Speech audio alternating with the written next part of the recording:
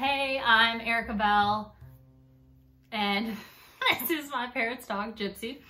I guess she'll be joining us today. Today, I'm gonna give you pretty much the only tip you need for tidying. Okay, not the only, but it's a it's a big one. It's a big one. So this is what I like to call the two times tidy tip. Basically, just because I like alliteration.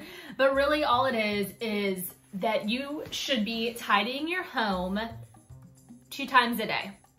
And I know you may be thinking, that sounds like a lot. This woman is nuts. What are you talking about? I'm gonna tidy my house twice a day. I can barely keep up with things. I don't know.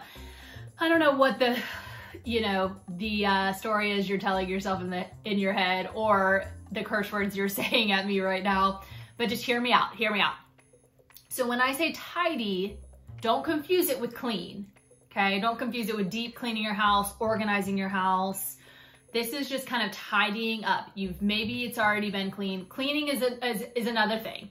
So is organizing. For tidying, we're gonna maybe assume that maybe you've done some organizing already and this is just kind of upkeep, okay? This is maintenance mode, right? Okay.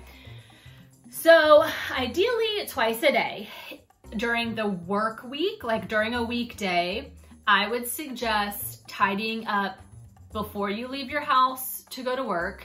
And again, maybe you're saying curse words to me right now of like, what are you talking about?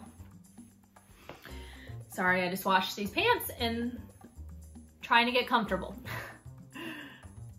so if it's a weekday, um, we're talking tidying up before you go to work. Again, don't curse at me, don't come after me. And again, I'm just saying this is this is gonna take you five minutes. Give yourself five minutes to do this, okay? So maybe that means you are putting your dishes away from breakfast or putting your coffee cup away, you've made your bed, your house just kind of looks neat and orderly. So one reason we do it before we go to work is that so when we come home for the day, when we re-enter our homes, maybe you've had a stressful day, I hope not, but maybe work was crazy, I hope not.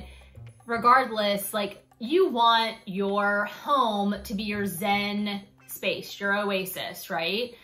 A place where you can walk in and just breathe, exhale, and just kind of be comfortable, okay? So when we tidy up in the morning before work, we can come home to that kind of oasis, that kind of tidy. And then the second time it, that you're gonna tidy up your home is before you go to bed, okay? Again, maybe we're putting the dishes away or we're putting them into the dishwasher, we're wiping down counters, anything like that. We're, we're putting toys away or we're putting books away. Just, we're just picking up, okay? five minutes, five minutes. And for the reason, because then when you wake up, you're waking up to a tidy home. It is setting your day off on the right foot. It's setting the tone for your day in a peaceful way, right? Okay. So that's what I would suggest during the weekday. On the weekends, people's schedules are a little bit different. So I would suggest your tidying schedule probably needs to be a little bit different too. So I would say on the weekends, maybe your first time of tidying is around lunchtime, after lunchtime, okay? If your kid, if you have kids and they take naps, uh, tidying when they go down for naps or right before they go down for naps, they can help you with this process, right? And then then things are nice for the rest of your day. Maybe you have a little kind of chill moment in the middle of your day. Maybe you take a nap, hopefully. Ugh, I love a nap. That is like luxury for me, right? Um, so, and then you just have a nice, a nice home for the rest of your day. And then once again, you'll do it at nighttime. So after dinner, before you go to bed, that sort of thing. So once again, you will wake up the next day and your home will just be, it's just a nice tone to start your day, okay? So again, start small. It does not need to be more than a couple minutes. I'm, I'm gonna just say five minutes. Give this try this for a week or even a weekend. Start small with this and see what you think. It may sound like a lot if you're not used to something like this, but the tidier you keep your home, the less you'll have to like go through and do this like huge cleanup of a huge mess, right? So you're wanting to kind of just keep up with with your things a little bit at a time versus getting everything destroyed and then having like a mound, a pile of stuff to clean up, right?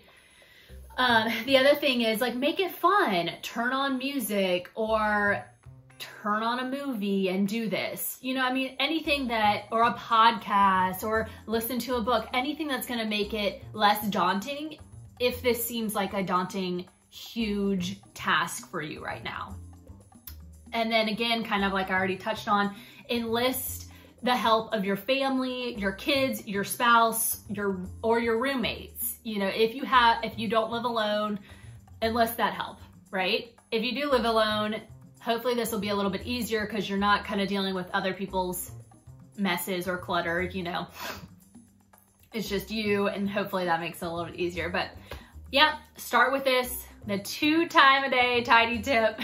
and let me know what you think. Stay tuned each week for more videos. Thanks for watching. Talk to y'all soon. Did you like that?